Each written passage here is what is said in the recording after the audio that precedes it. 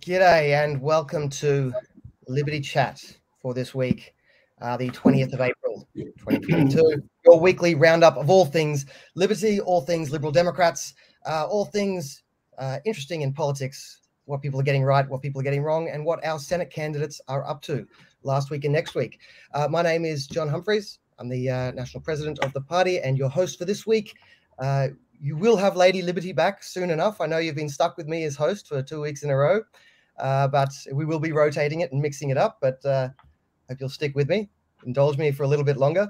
Um, the show is now for the second season. We are running directly live to YouTube uh, and to Facebook. So welcome to the people who are listening to us live. For the people listening later on uh, recorded version of the video, please do show up next week uh, every Wednesday, 7.30 Eastern time, and you can join in and ask the questions. I see the questions are already coming in. Uh, we will answer some of them as we go, especially the good ones, uh, and the good comments, we'll read it out. And look, if you've got some good burns and uh, you can you can riff us properly, then we'll read them out as well. So uh, uh, do feel free to join us.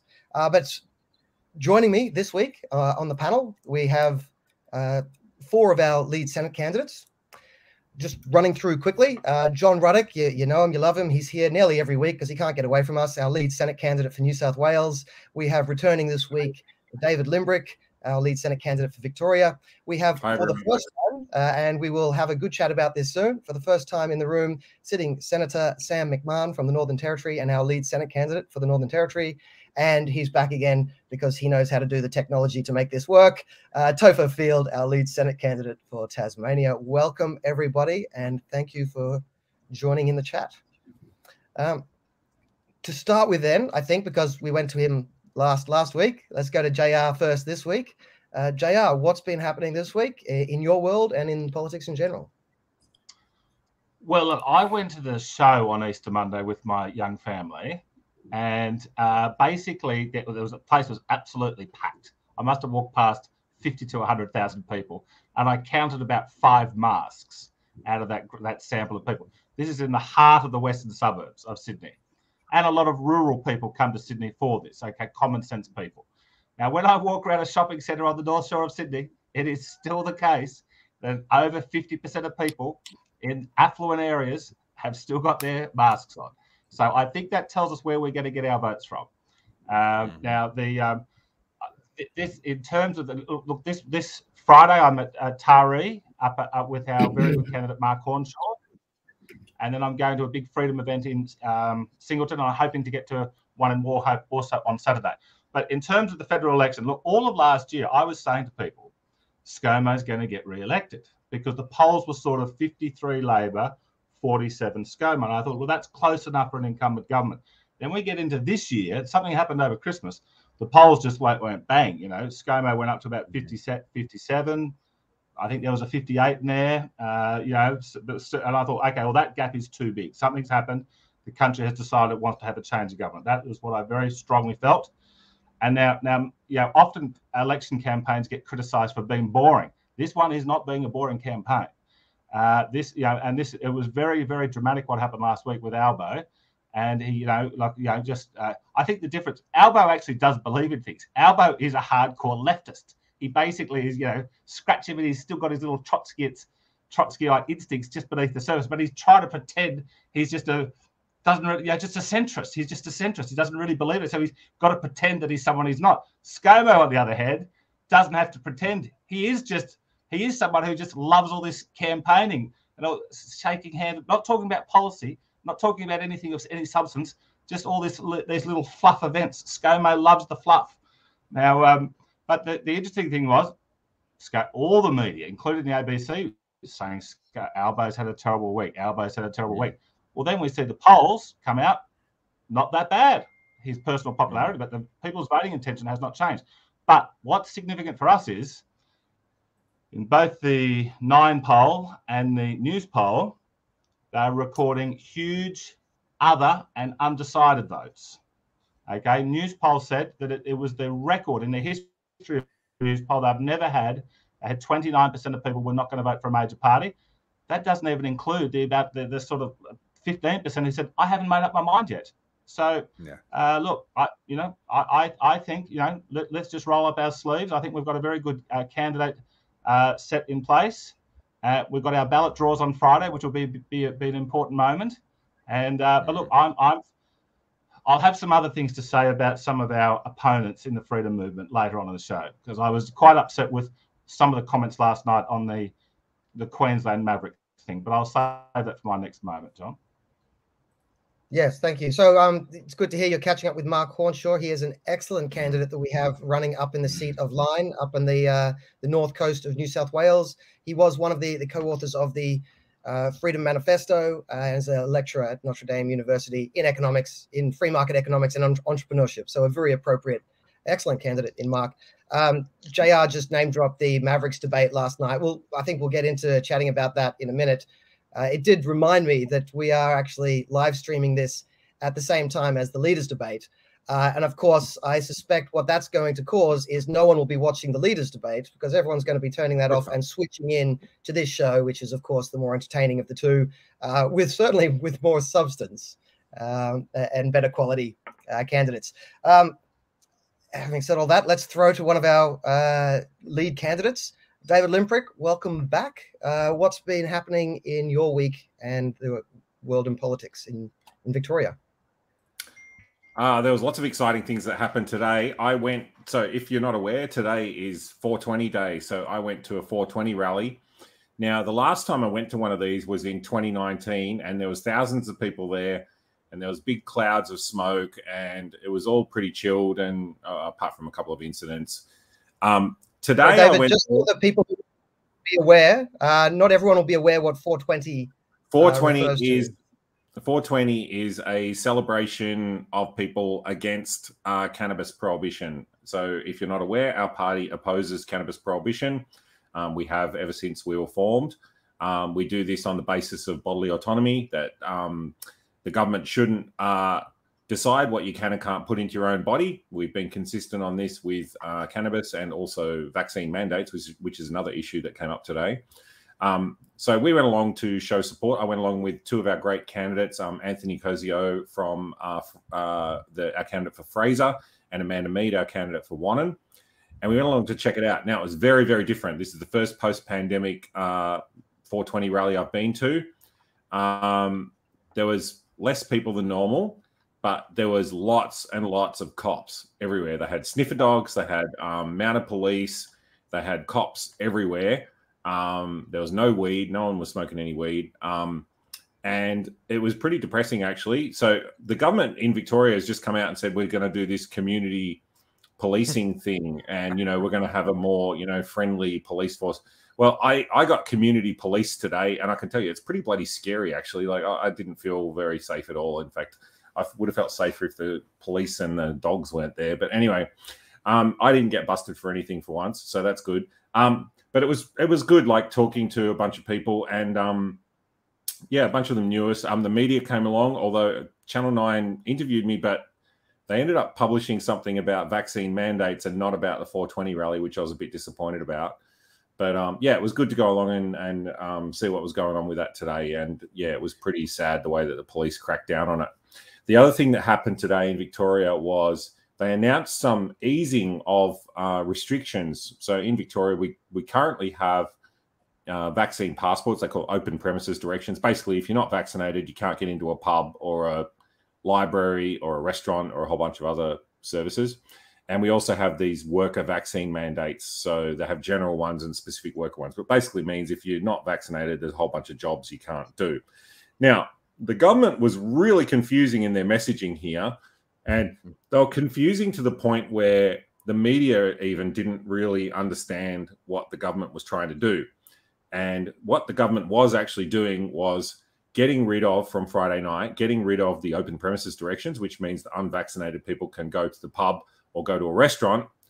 And they were signaling that they're thinking about and maybe one day getting rid of the worker mandates which Channel 7 published tonight that they're getting rid of the general worker mandates, which they're actually not, not on Friday anyway.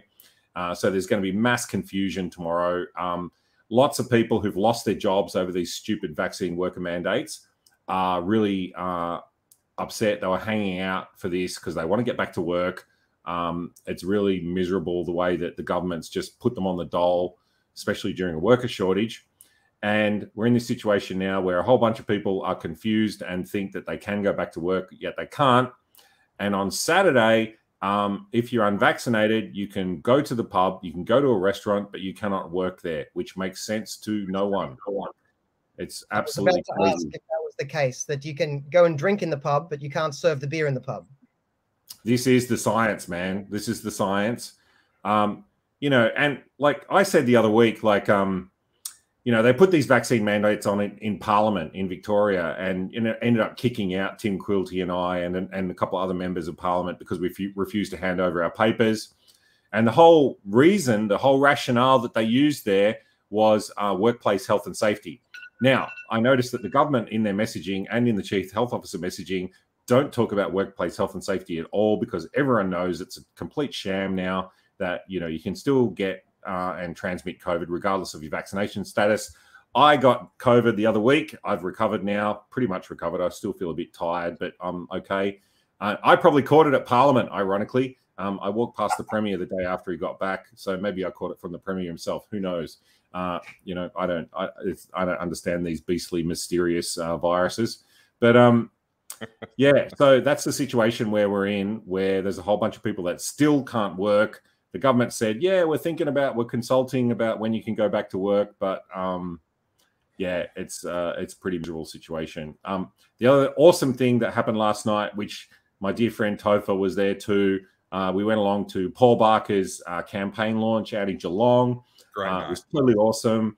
Um, you know, Paul was great. We had a, a, bunch of great speakers. It was actually really poignant, actually, like people talking about their redemption stories and stuff, which I won't go into detail, but there was some like was some pretty heavy stuff, right? And mm-hmm. um, yeah. I'm sure Topher would agree. And you know, I love these sort of redemption stories. And and the thing that I brought up uh, last night, and I think that's um, uh, important to consider for the party as a whole, is the idea that all libertarians uh, came from not all of them, but most of them, especially in Australia, they came from somewhere else, right? They weren't mm-hmm. brought up libertarian. They weren't brought up classical liberal beliefs necessarily they sort of came from somewhere else. And i know i'm one of those people and most other people that i've met in the party are one of those people. Um, there's some exceptions to that but mostly people came from somewhere else and that means that we have to be uh, tolerant with people's uh, history and backgrounds and be prepared to uh, acknowledge and respect people's change in views. Because i've personally undergone a change in views. I know many other people here have probably been the same and we have to be uh, considerate in that and not like other parties like the liberal party like the labor party that see a mistake in your past and then uh, cancel you forever. We don't want to be like that. So mm-hmm. I, I, think it's really good that we heard these sort of stories of redemption last night of people who've made bad choices in their life um, and uh, and changed. And uh, that's wonderful. I was really uh, impressed with it and thought it was a great story. Well that that is good to hear, and I, I agree with you. The importance of uh, the possibility of redemption. That's not to say that mm. everyone deserves to be instantly forgiven the moment they've done something wrong, but the possibility of redemption is is absolutely essential in a functioning society. And mm-hmm. the Lib Dems uh, is much more than just a, an anti woke party. That's that's not our main thing. But this is one of the I think the the big problems with uh, the, the woke or the wokenistas is the lack of the ability of redemption. This willingness mm. to crucify people so quickly to hang them out to dry for anything they've said in the past. If people speak freely, they will misspeak. I mean, we're all doing this live, so you're going to hear every uh, you know error and um and ah that we we say directly to the camera. If mm. people speak freely, they're going to misspeak. They're going to say things they regret later. They're going to do things they regret later if they live freely. Uh, the idea that you're going to be hanged for all of it is a truly dangerous way to live life.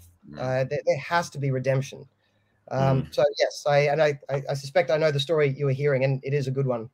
Uh, and Paul Barker is a great candidate, candidate for Corangamite. If you're in Corangamite, um, yeah, he's a, he's an excellent candidate and a good friend of mine. He's a wonderful guy. Yeah, mm-hmm. yeah, another excellent Lib Dems candidate. Um, we, we do also have, I noticed, uh, Lady Liberty in the chat, Kate Fantinel, our lead Senate mm-hmm. candidate for WA. She's uh, uh, she's I don't know which chat she's in, YouTube or, or Facebook, but she's in there somewhere. And as you were talking about how terrible Victoria is, I think she was uh, reminding you that WA may have you beat in terms of stupid, incoherent rules. Uh, there we go. The comments back up there. Um, Shocking. Uh, and someone commented the same thing that I thought when you said it's the science. And I note that when we say it's the science now, we nearly always do it facetiously. Mm. It's become Mm-hmm. a, a butt of a joke. And that is a really sad thing because science is a good thing. It's an important thing. And the fact that the way science has been mistreated to the point where we just naturally use it as a punchline Hmm. uh, is, is a bit sad. Um, It's more sad for me. I'm one of the few politicians that's actually got any qualifications in science. and I just rubbish it every time they talk about it because I'm just like, well, you know, science is a methodology, right? It's about it's about looking for, you know, uh, putting forward a postulate, testing the postulate.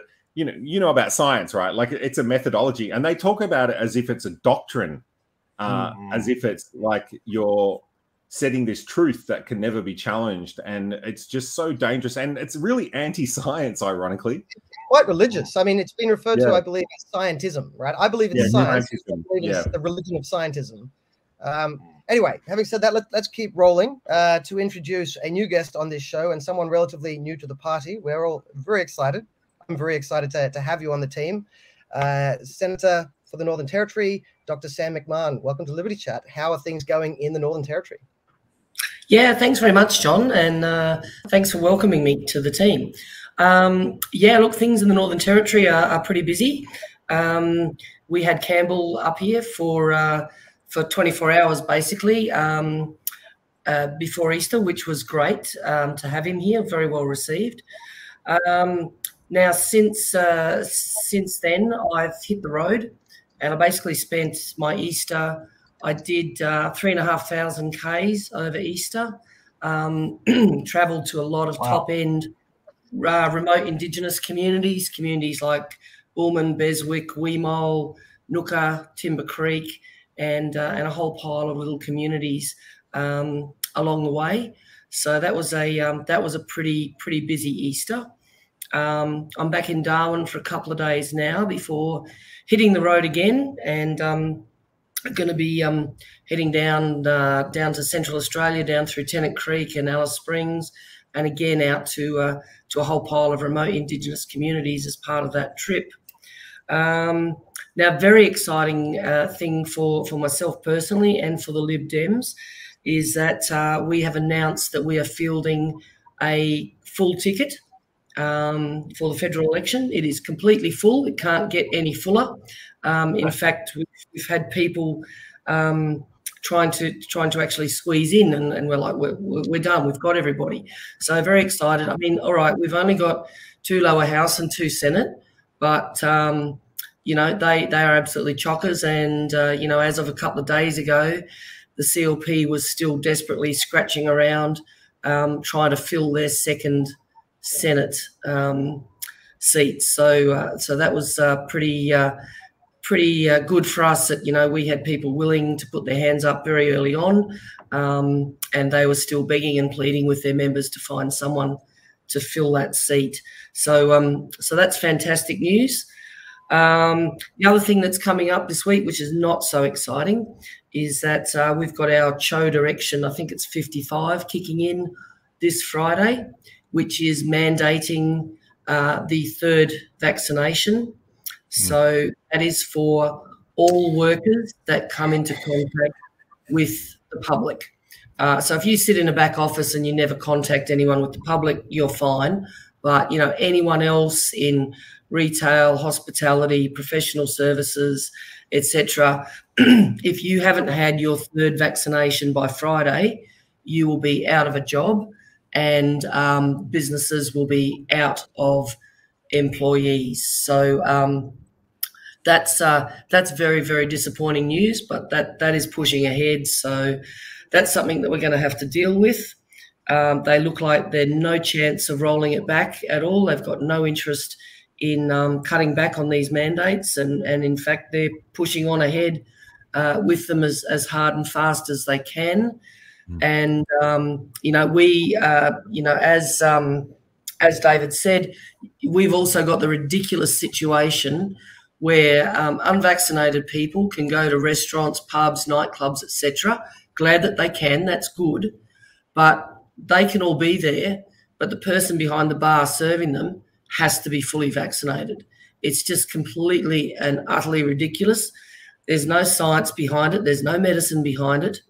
Um, it's it's just stupid. You have to be vaccinated to work there, but you know, a couple of thousand people can pile on in unvaccinated. There's no logic whatsoever.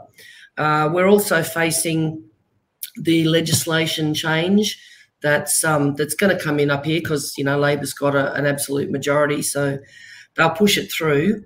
Um, that gives the Cho unfettered powers for two years. Um, this will give the Cho more powers than anyone else in Australia. He or anyone he designates will be able to walk into your house any time of the day or night and take you away and lock you up indefinitely. He will be able to seize anything from your house and take it away and do whatever he wants with it. Um, these these powers are, are just completely insane, unnecessary, um, and um, you know you, you're just you're just taking away people's basic rights and freedoms. I mean, if the police want to come to your house, they have to get a warrant, um, but the Cho won't have to. He can just walk in and cart you and your family off uh, if he believes that um, it's important for the sake of uh, limiting the, the spread of COVID. So, you know, we, we're just facing some absolutely desperate and, and diabolical um, rules that are coming up here in the Northern Territory. So I'm, I'm 100% focused on standing up um, against against these um, Cho directions and also legislation in the Northern Territory government. Of course, in the Northern Territory, different to the states, the uh, the federal government, if it wanted to, could come in and squash this. You know, the, the, the federal government could do it. So, you know, if Scott Morrison, and, and I've written to him twice and I've written to the Attorney General, you know, if they were fair income about um, their, their mantra of we don't support mandatory vaccination, if they were fed income about that, they could come into the Northern Territory at least and override what the territory is doing. But they they have no desire or will to do so. Very disappointing. It's my understanding. Say, we, we, normally have a contest, I think, between uh, David and Kate, David Limbrick and Kate Fantinel, as to who has the, the worst leader. They may have competition. I don't know if it's a competition anyone wants to win, but the rules in the Northern Territory sound appalling. Yeah, Sorry, David. yeah, they are.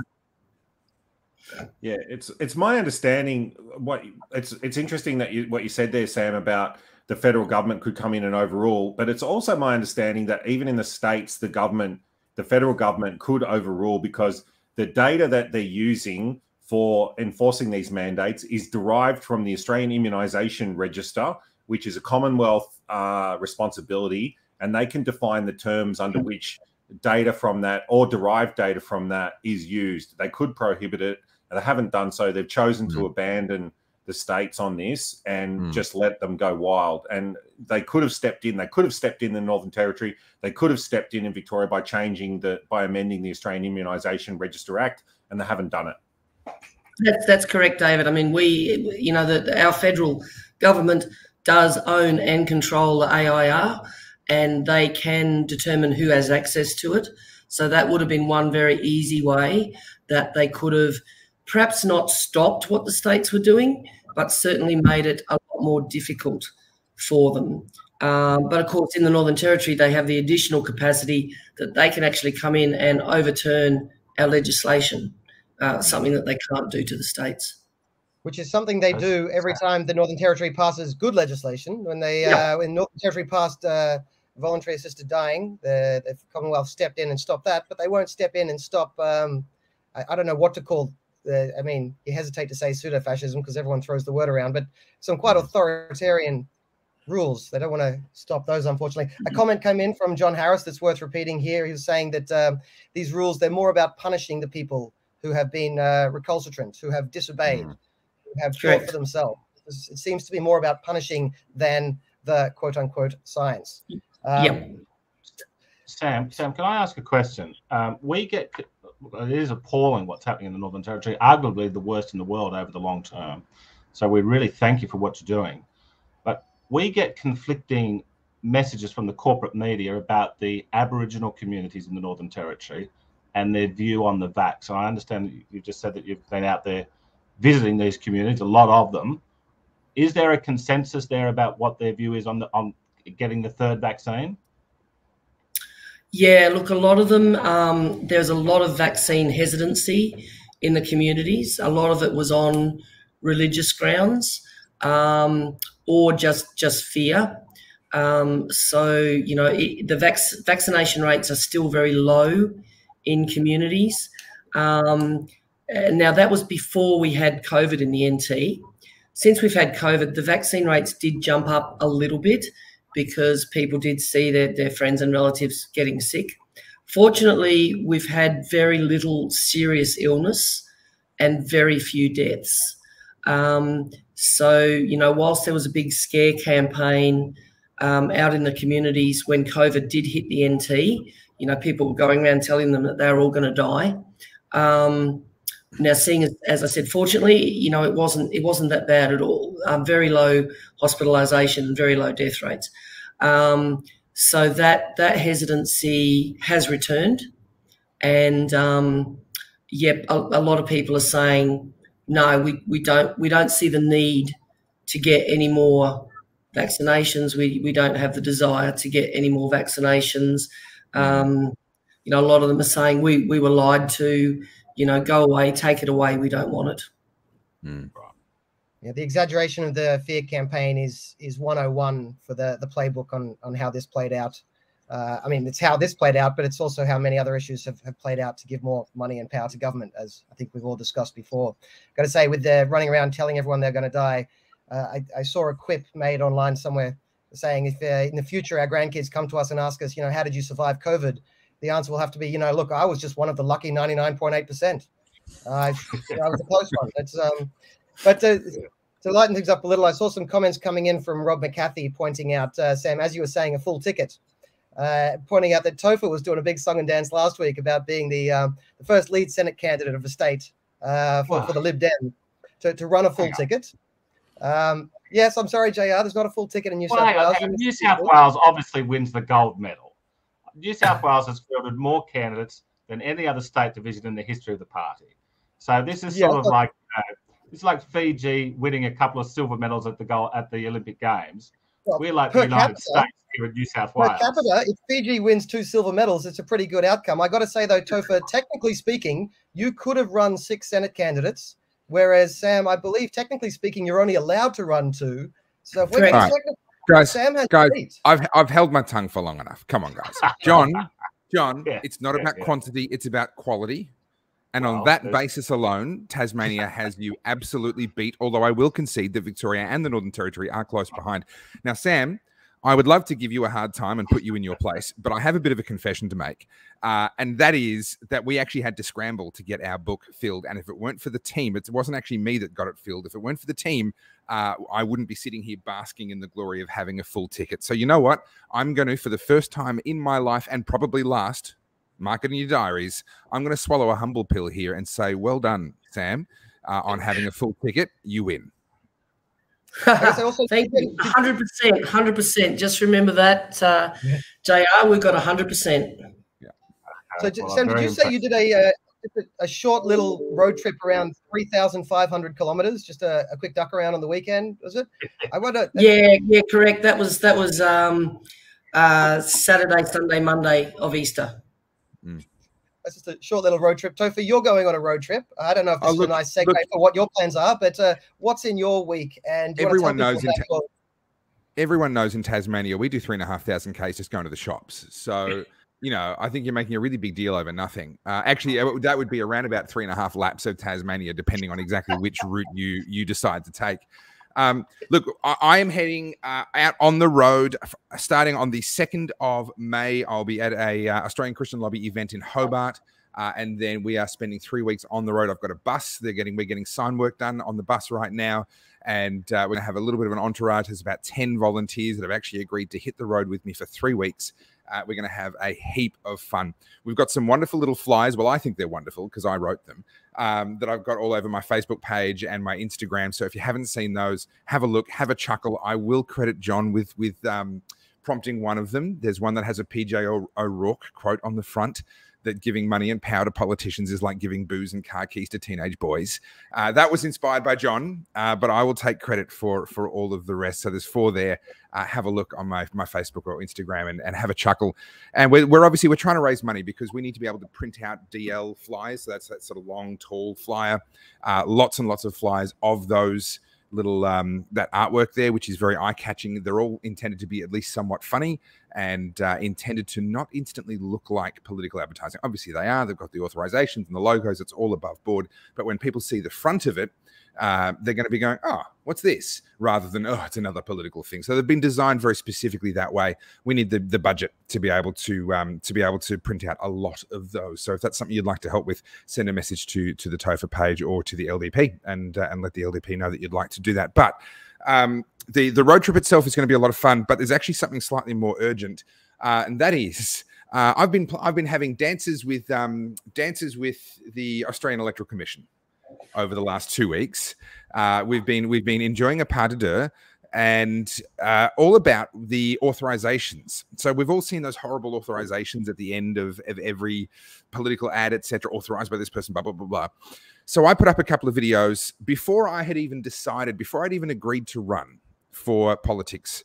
Uh, which I mean, John, I knocked you back how many times this year? I think twice this year before I finally said yes, and I've knocked you back every other election for the last who knows how long.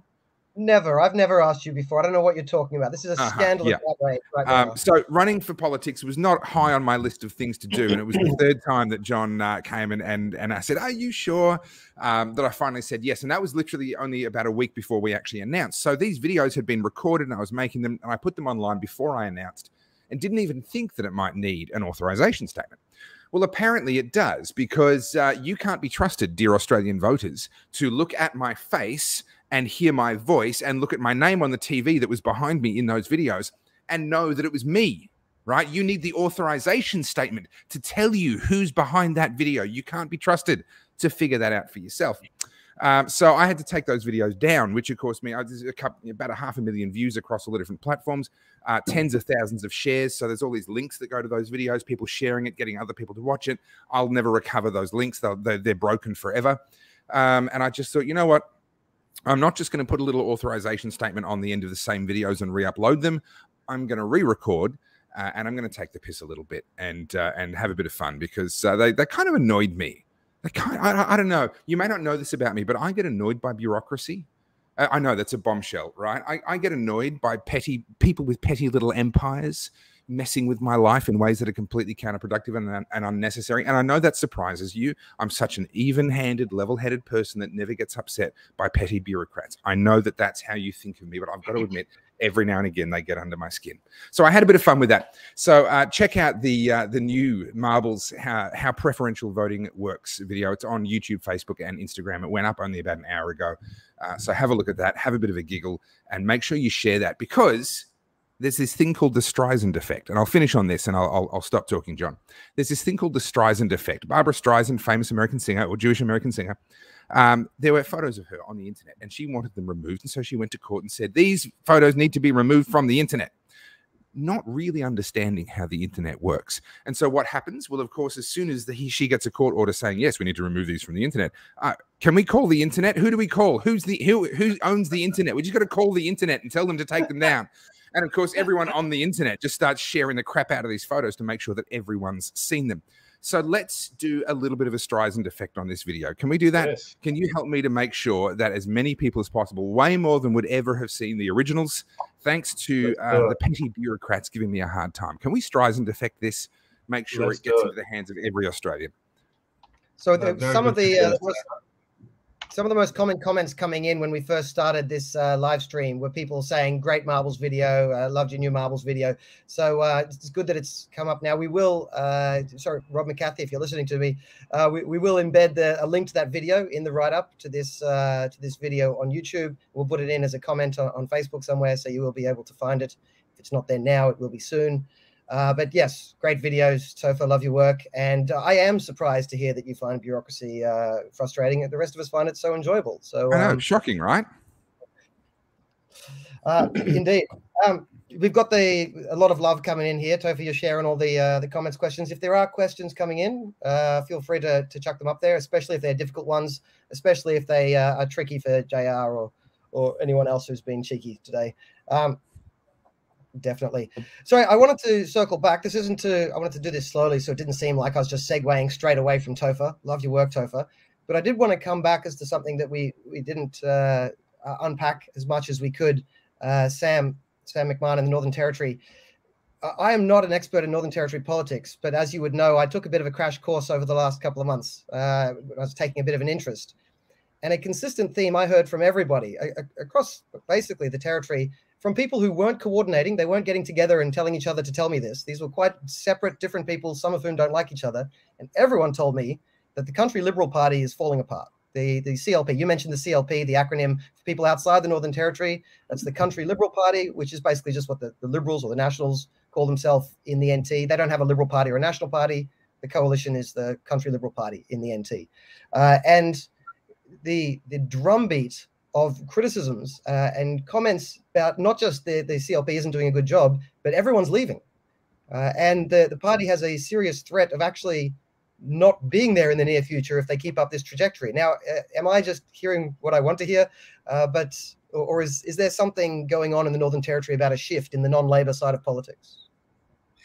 Yeah, John. I mean, that's that's that's absolutely true. I mean, you know, look, I, I'm I'm not here to, to bag out the CLP, but you know, part of the reason that I'm here is because of the dysfunctionality and the decline and decay of the CLP.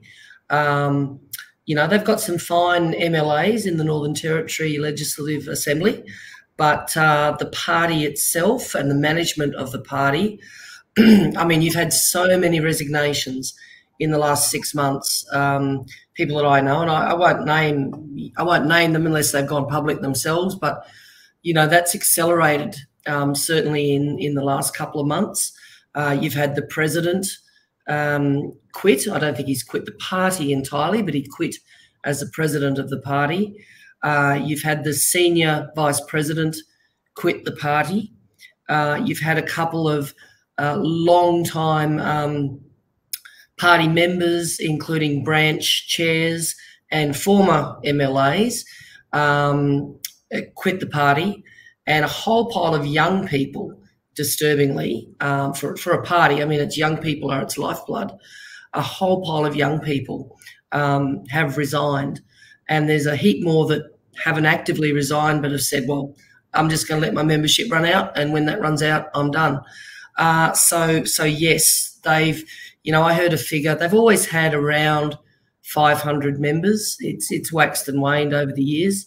And I heard a figure quoted to me by someone who is still in the uh, the party that they've currently got about um, 280. But I do know that that membership includes includes myself because I still get sent correspondence, despite the fact that I resigned quite some time ago and they accepted my resignation at a central council, but I'm still on their list, uh, as are quite a lot of dead people. Um, so you know it for for whatever reason, and you know various people have submitted very long explanations with their resignations as to to the reasons of the decline of the party. But um, for whatever reason, yes, um, the party structure, the party management is is crumbling, and um, you know it's kind of at the moment it's a little bit of the case of you know we're the last one, last one out the door, turn the light off. Mm. A, one key thing to note there is that you said uh, from 500 down to under 300. Of course, under the new rules set by the, the coalition government, uh, without a sitting uh, MP or senator, which they don't have at the moment, you're supposed to have 1,500 members to be a, a political party. Now, we've got 15,000 in the Lib Dems, so we're fine. Uh, but it doesn't seem like the CLP would pass that test, which is uh, an interesting thing to note, given the, the, the history of the, the, coalition on this issue. Yeah, no, they, they wouldn't pass that test. And um, you know, they there was a bit of concern when I resigned. Uh, a lot of people within the party were like, "Oh, well, you know, where does this leave us now? Because we don't have a, a sitting member or senator." And I'm like, "Well, it doesn't actually change anything because, you know, you guys and and they're upset about the change, which increased the membership requirements from 500 up to 1500. So it was previously 500. And they're upset about that. And I said, well, it doesn't, you know, it's not going to change anything because, you know, you, you never would have had 1500. Um, you, you, historically, you're battling to make 500. Um, so, you know, you're not, you're not a, a federal party. But of course, you know, that has been investigated by the AEC. But the, um, you know, the, the issuing of the writs stopped the AEC investigation. So, you know, they they are, you know, for all purposes, still considered a federal party for this election. Um, but obviously, if they don't get a, uh, a member or senator up at this election, then yes, they will cease to be a federal party and they'll probably even struggle to be a territory party. I think you need 200 members for, for territory, and they probably would start to struggle for that. Sam, Sam are, these, are these resignations because of, I know everyone's got their own story, but is it largely because of policy differences or personality clashes? Um, look, it can be a little of both, but you know, there's been personality clashes in the party for forever um, but we haven't seen the resignations that we're seeing now. Um, it doesn't seem to be so much policy because there is no policy coming out of the party. Um, the only policy that comes out of? What do they say about the all the vaccine craziness? Uh, well, that that's caused a lot of people to resign. That has been one thing that has caused a lot of resignations because um, the party, as in the party political wing, um, so the leader of the opposition, came out very strongly and backed um, the Cho and the Labor Party on the vaccine mandates. Um, now that sent a lot of members.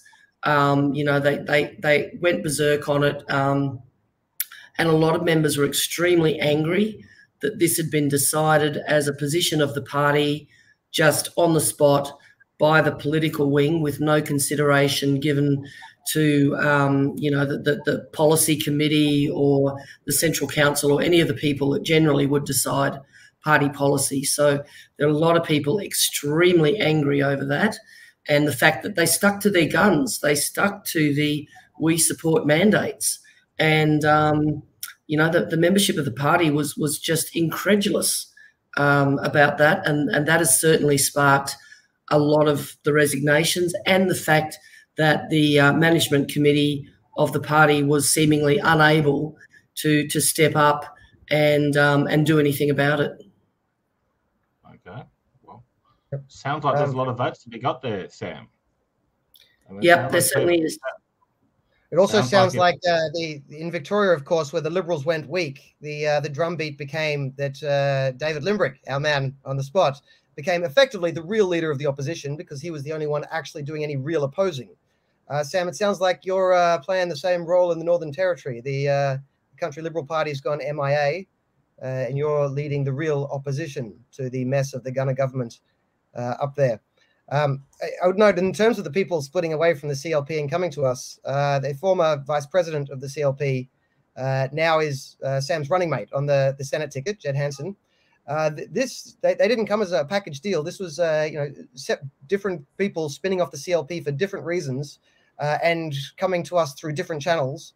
and just having a similar story of the CLP is um, is on its way out. There needs to be a better option uh, so it's, it's great to be able to bring together some of the best people from the, the former CLP uh, in the Northern Territory. So love your work, Sam. I did. Uh, I do remember you said you had an appointment. You might not be able to stick around.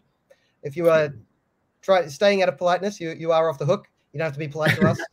Um, if you have time, feel free to stick around. But I'll uh, I was just giving you an easy way to to segue out if you wanted it. Um, yeah, thank you very much, uh, John, and thank you everyone. I, I am I am going to have to go because I, I did have this other uh, meeting to go to that I need to turn up. Um, so I'm I'm very sorry to leave you a little bit sooner. Um, but thank you very much. It's been a blast. Thanks for chatting, thank Sam. Thank you. And Good look luck. forward to having you back uh, again in a future week. Yep.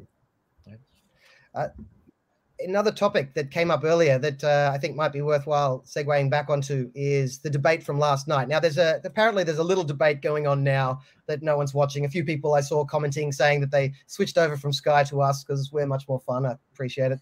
Um, saying you're more fun than Morrison and Albanese. We're setting the bar low, but I'll take it. You know, that's that's compliments a compliment. But of course, the real debate, the real debate that mattered was the one last night uh, between some of the, the minor parties that are capturing people's imagination, capturing people's attention. They had, uh, was it Bob Katter, Pauline Hanson, uh, Clive Palmer, and of course, our lead Senate candidate for Queensland, Campbell Newman, uh, up on a stage at the Gold Coast having a bit of a discussion. I don't know how much of a debate it was. They agreed on half the issues, but there was some debate in there. Um, fellas, did you get a chance to watch? JR, I know you're a, uh, well, I guess we all are a political tragic, but you're a political tragic par excellence. Did you uh, have any hot takes from that, the real debate from last night? Uh, look, look, look.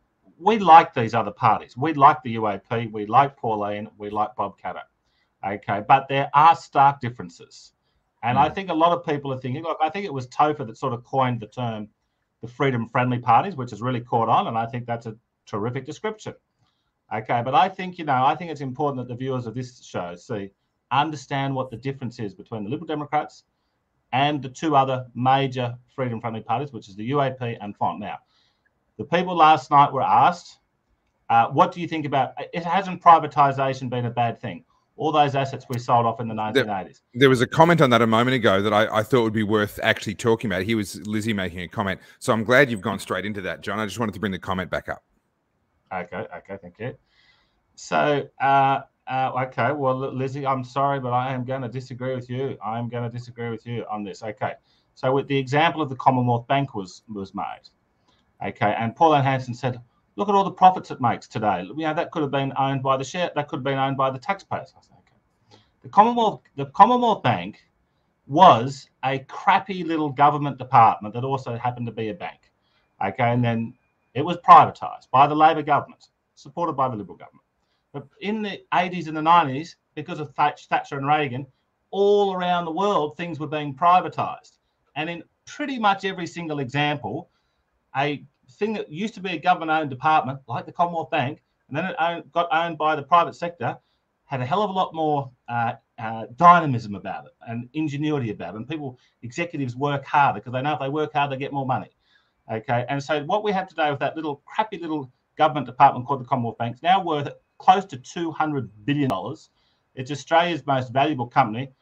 It's worth four times what Elon Musk has uh, offered to buy Twitter for. Okay, mm. now, now on top, now what and what it makes ten billion dollars a year in profit.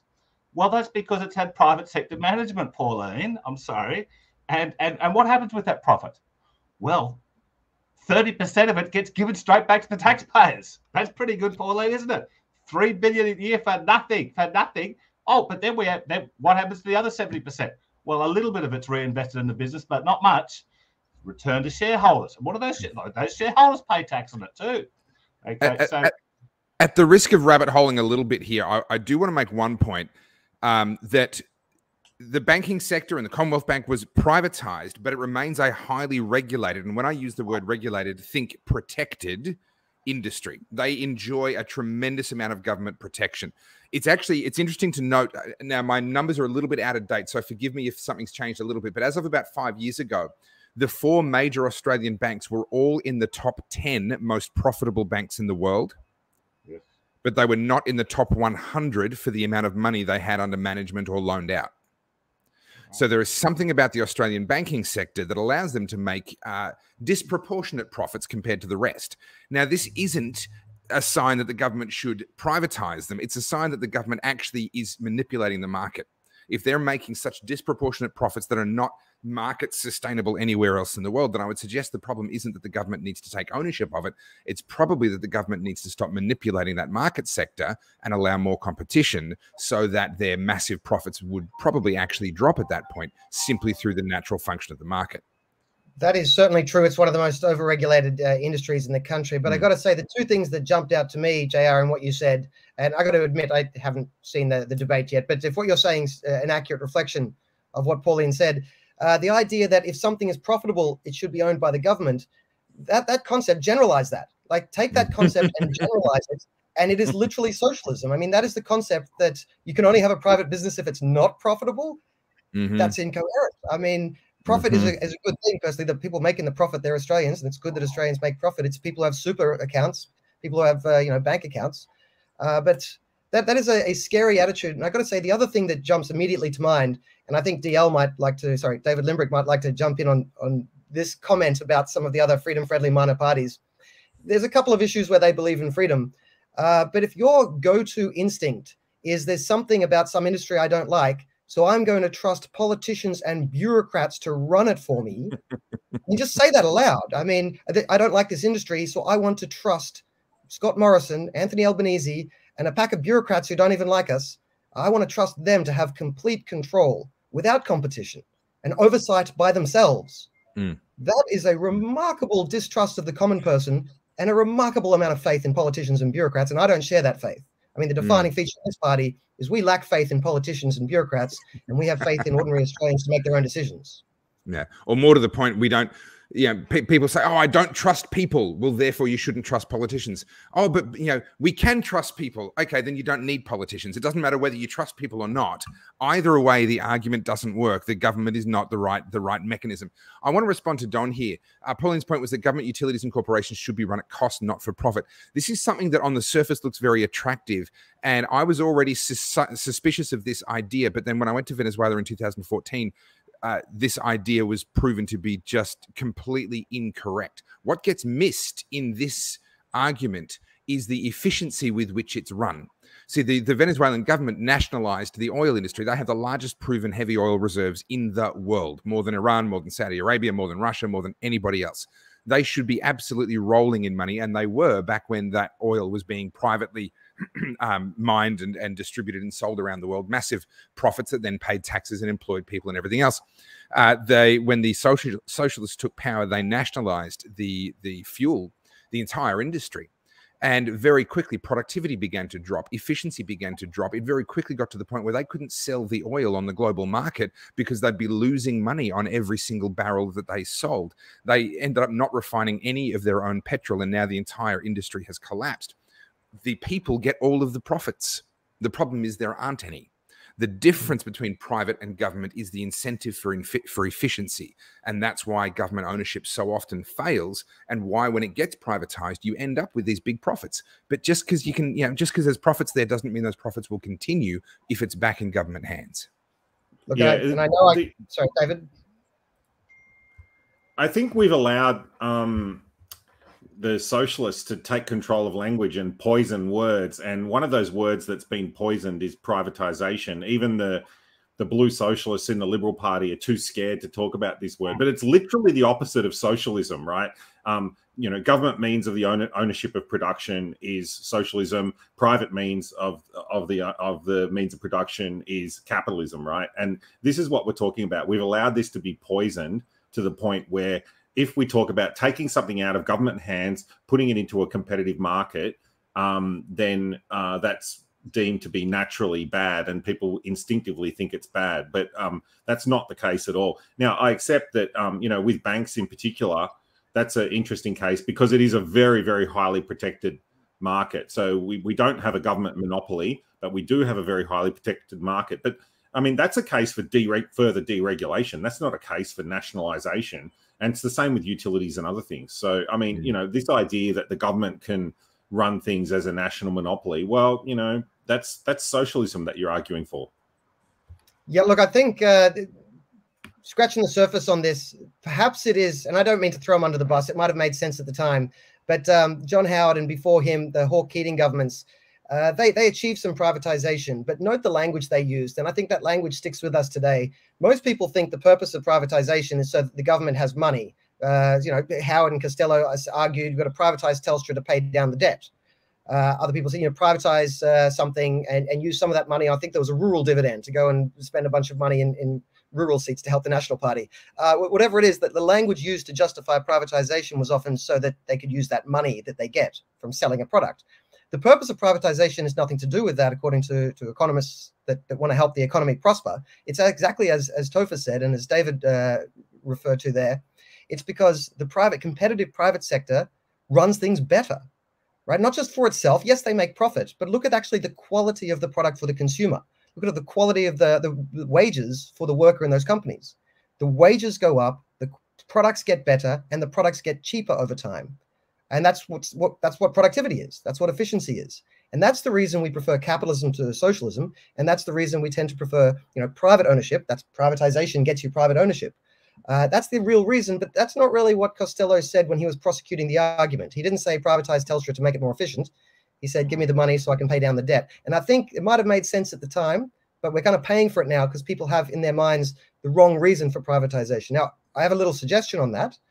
Uh, to help knock people out of that belief set, one way to achieve privatization without getting people distracted on what you can do with the money is you, you could sell government utilities. You could have sold Telstra, and they did. One option is they could have given it away to every Australian citizen or every Australian voter. Now that would have made the money government zero money, but that's not the point. It would have put it into private hands. Look, this is what I think we should do with ABC. They call it your ABC. I tell you what, if it's really our ABC, give us all a share, right? And we can decide whether we want to keep our share or sell our share, and the shares will be uh, traded on the stock market, and it'll be a privatized ABC. If it's our ABC, give it to us. We don't need to sell it. Give it to us. So um, that's my pitch on privatization. I love that idea. Yeah, it's not my A. It's not your ABC unless you can sell it, right?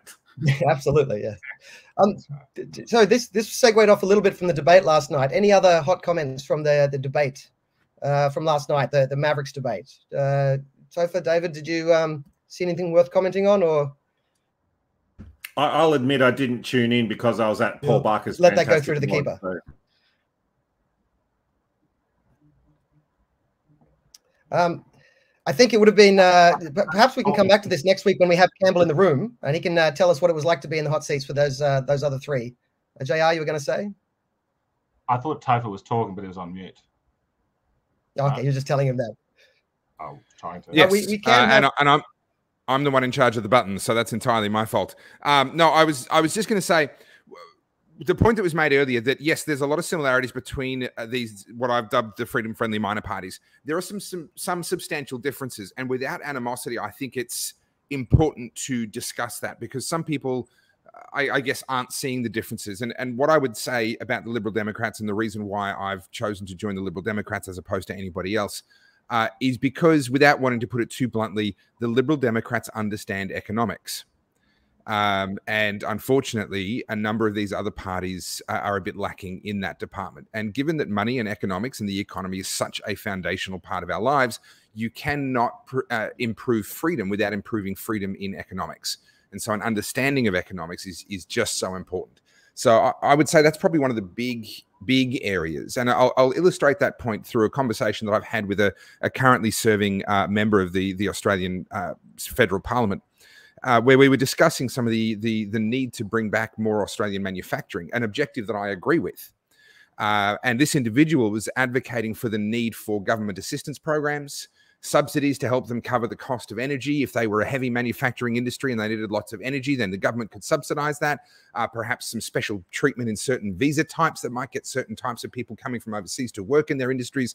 Various kind of government programs and carve outs and that's unfortunately a mentality that's very common in the major parties, Liberal, Labor, Nationals, Greens. They love their carve outs, they love their programs, but it's also quite pernicious and quite common among a lot of the smaller parties. Whereas for a Liberal Democrat, and, and these fine gentlemen can correct me if I if I uh, misstate this, but we would love to see manufacturing in Australia but we would love to see it return to Australia because it makes economic sense for people to set up manufacturing here because they're competitive on a global stage, because electricity is not so expensive. Labor laws and, and industrial relations have been improved so that there's more flexibility and people can actually make better working arrangements that maybe cost employers less, but, but satisfy employees more. There's a lot of things that we can do to actually reduce the cost of manufacturing to bring manufacturing back. And that's based on an understanding of economics. So we have the same objective. I'd love to see a robust manufacturing sector in Australia. In fact, I think it's a national security risk that we don't have one. But I'm not going to pursue that with the, by, by the use of spending taxpayers' money on special carve outs. So that's one illustration of the kinds of differences you'll find between the Liberal Democrats uh, and some of these other parties. If you if you slash taxes, make uh, energy cheap and abundant, uh, manufacturing will come back. In fact, mm. you know, we, we, saw, I think it was in um, Ireland when they slashed their corporate tax rate.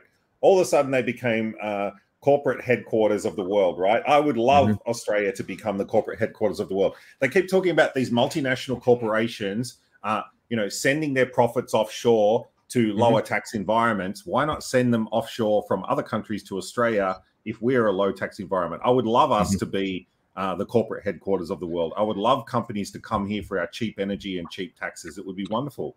Way ahead of you, Tasmania is going to be the next Singapore. Okay, we're well, carving out a special that, that economic zone. to me. Tasmania, uh, we are going to have a ships registry. We're going to be a tax haven. We're going to we're going to we're going to rock it. It's going to be amazing. Sounds to me like you're about to start the uh, Tasmania independence movement. I mean, this is uh, off as shut down the federation. All right, oh, I, I won't say a thing. Like I, it will make AFL an international sport. So um, if you break up the federation, so there's, there's upsides. Yeah. Anyway, yeah. enough of that. Now we've hit the hour mark. We do try to keep it to an hour here on this show, so uh, we won't have time to do the final wrap ups from everyone. The final wrap ups will just be everyone saying goodbye. Uh, thank you for listening. Uh, do come back every Wednesday, 7:30 similar faces. We rotate the guests a little bit, but you'll get used to the regular people that are always back here. And I think uh, we've already got a theme for next week. Let's do a bit of a deep dive into some of the economic debates happening between the minor parties. That'll be fun. So come back for that Wednesday, 7.30. Uh, gentlemen, thank you very much. And Topher, uh, thank you. Uh, this is authorized by John Humphreys for the Liberal Democratic Party, Mount Waverley, Victoria.